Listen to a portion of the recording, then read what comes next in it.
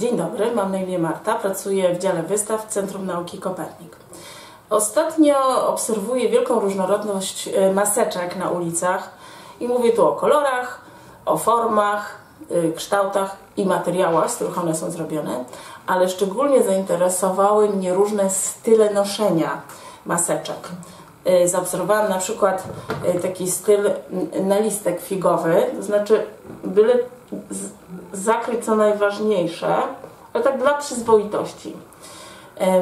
Na świeżo upieczonego rodzica z użyciem e, pieruszki tetrowej i później takie style na przykład na brodacza, przy czym tutaj w szczególe y, styl na Lincolna i w takiej bardziej e, szerszej wersji na Misza i tu też występują takie warianty na brodacza palacza. Oprócz tego zauważyłam też e, kilka przypadków misia uszatka lewo lub prawo usznego, co ma jedno uszko klapnięte.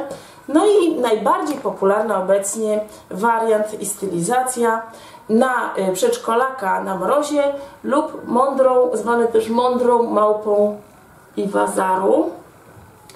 Wszystkich tych, którzy y, lubią takie nowatorskie podejście, Y, chciałabym dzisiaj przekonać, że klasyka jednak jest zawsze najlepsza. Otóż naukowcy y, z Wielkiej Brytanii, Holandii i Francji w zeszłym tygodniu opisali badania, w których wykazują, że nos jest bardzo istotny dla prawdopodobnie, w te badania wskazują, że on jest bardzo istotny dla zakażenia wirusem, koronawirusem SARS-CoV-2. Y, jak to się dzieje, że komórki ludzkie są różne, różnie wyglądają, są różnej wielkości, mają różne funkcje. One wszystkie mają ten sam DNA w swoim jądrze komórkowym, jednak ten DNA jest inaczej odczytywany. To oznacza, że na, w, tych komórkach i na ich powierzchni mogą być różne białka, Y, może pewnego białka być mniej lub więcej, może go w ogóle nie być w, jednych, w jednym typie komórek, a w innych bardzo dużo. Założenie pracy było takie, że żeby znaleźć takie komórki, w których dwa białka, które są kluczowe, żeby wirus wniknął do wnętrza komórki, y, żeby znaleźć te komórki, w których jest ich najwięcej, i to będzie oznaczać, że one są bardzo istotne dla tego, y, dla procesów wnikania i zarażania y, przez wirusa. Y, przeszukali specjalną taką bibliotekę komórek i okazało się, że najwięcej tych białek to są dwa białka. Jeden z nich to jest receptor AC2, który wirus rozpoznaje na powierzchni komórki i się z nim wiąże oraz białko o wdzięcznej nazwie TMPRSS2. Jest to białko, które odcina kawałek tego receptora związanego z wirusem, co sprawia, że otoczka wirusa zlewa się z błoną komórkową i może dochodzi do wtargnięcia wirusa do komórki. Otóż te dwa białka w największej ilości są, y, występują w komórkach nabłonka naszego nosa a w szczególności komórkach tak zwanych kubkowych i tych, które mają rzęski. Kubkowe komórki produkują śluz w naszym nosie, a kubkowe przesuwają y, zanieczyszczenia i ten śluz również y, na zewnątrz.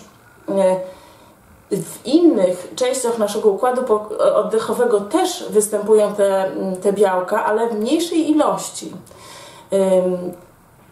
Dodatkowo odkryto, że tego białka jest również dużo na powierzchniach komórek rogówki naszego oka i w jelitach.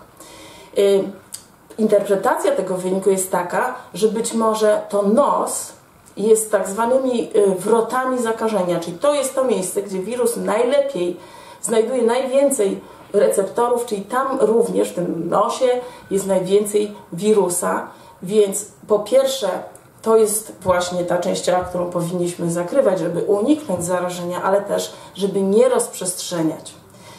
Y, można by powiedzieć, że jeżeli okaże się że te badania są prawdą i to znaczy, że się potwierdzą innymi metodami, wtedy moglibyśmy używać nieco innej maski na okoliczność chronienia siebie i innych przed wirusem, zakrywającej nos i oczy, ale na razie, póki y, nie ma stuprocentowej pewności i badania muszą zostać potwierdzone, jeszcze raz wszystkich namawiam do klasycznego noszenia maseczki. Pamiętajmy, na górze maseczki drucik, drucik ładnie przykładamy do nosa, tak żeby przylegało, zakładamy na uszy i teraz dokładnie przykrywamy również brodę, rozwijamy w ten sposób. Od czubka nosa zakrywanego do końca brody mamy zakrytą twarz. Moja maseczka chroni Ciebie, Twoja maseczka chroni mnie. Dziękuję.